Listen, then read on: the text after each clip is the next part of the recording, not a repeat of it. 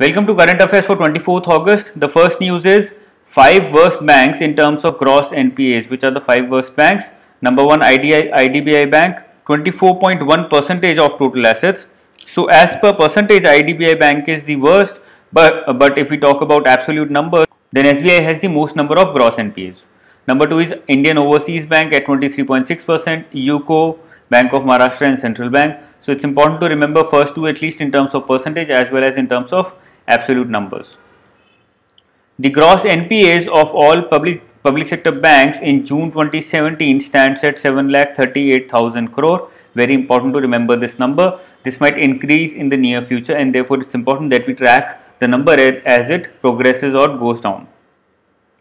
Railway board chairman has resigned recently because of two mishaps and the name of the chairman is Ashok Mital and the government has uh, appointed a new chairman uh, whose name is Ashwani Lohani. He was the Air India chairman and now he's been appointed as chairman of Railway Board. New Air India chairman for the interim period is named as Rajiv Bansal. Very important, all these three, three to remember. The creamy layer ceiling for OBCs has been raised from 6 lakh to 8 lakh. So important to remember this as well. Why 200 rupee note? Very important. This has been there in the newspaper in terms of an article today.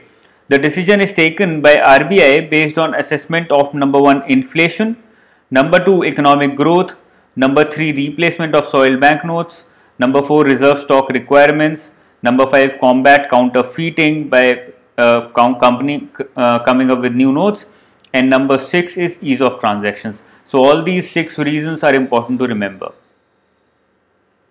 Next is similarities. What are the similarities between Bitcoin and shares of a company? This can be asked in the interview this year because it's a very tricky question. The number of shares of company outstanding at any, any time is limited and so is the number of Bitcoins. Both, both of them are limited in number. The price of Bitcoin as well as shares is determined by demand and supply on exchanges. So is that of Bitcoin. So the demand price is determined by demand and supply on exchanges for both Bitcoins as well as shares.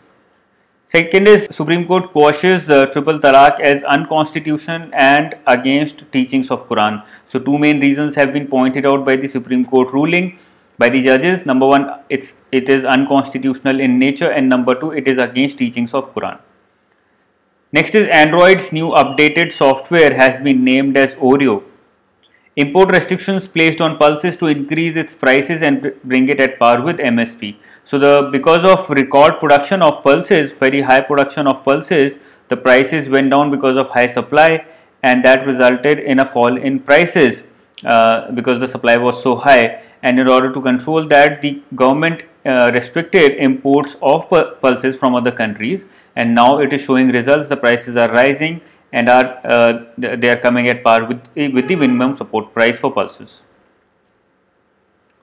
Next is uh, Supreme Court says nationwide ban on sale of liquor with a distance of 500 meters. So this is important to remember what is the limit.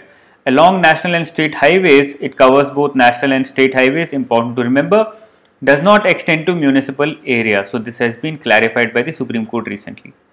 Global Commission on Future of Work has been set up by ILO and it is to examine changing dynamics of work and it is supposed to give out its report in 2019 in the year 2019 so the purpose of setting up this commission is to examine the changing dynamics of work from offline brick and mortar setups to online setups where you have just the internet connection and a laptop and you're good to go.